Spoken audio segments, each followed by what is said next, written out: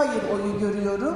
Türkiye'de hiç olmayan bir çalışmanın ürününü e, tartışacaksınız.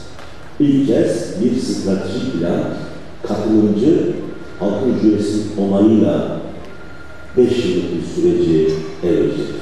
Adana'da yapması gereken, yapılmayan onlarca önemli iş var. Yapılamamış.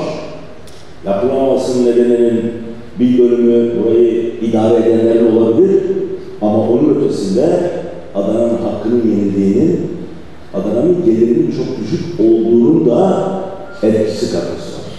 Bu kardeşiniz 5 yıl içinde bütçeyi terse çevirerek, gelirini arttırmaya çalışarak ama hala arzu ettiği sonuca varmamış bir olarak bunun çabasını sürekli arttıracağız. Güvenli bir kent olsun istiyoruz Adana. Oturduğumuz evde deprem olduğunda evimiz yıkılır, fırtına olduğunda zarar görürüz, sel olduğunda başka bir hasar görürüz gibi düşüncemiz olsun istemiyoruz. Dolayısıyla kentimizin de güvenli bir kent olmasını istiyoruz. Keyifli bir kent istiyoruz. Daha çok eğlenen, daha çok dinlenen, daha çok keyif aldığınız bir kent istiyoruz. Sizlerin daha çok keyifli bir kentte yaşamaya hakkınız var. Bunu yapmaya çalışıyoruz.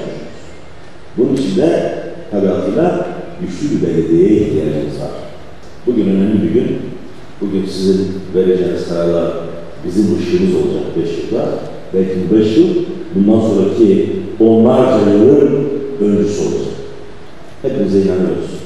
Bu canlı bedende olduğu sürece Adana'yı çok seven, sizleri çok seven biri olarak da 24 saat faslasız çalışmaya devam edeceğini de burada söylemek istiyorum.